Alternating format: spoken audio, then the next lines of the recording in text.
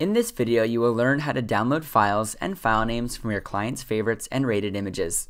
Now that your client has reviewed their images, you need to grab the top rated and favorite images to begin editing for products. Over here on the left hand side is the images section, and this is where you can view and download groups of favorited or rated images. This section right here will sort your clients and other guests' activity based on their email address and then by gallery type.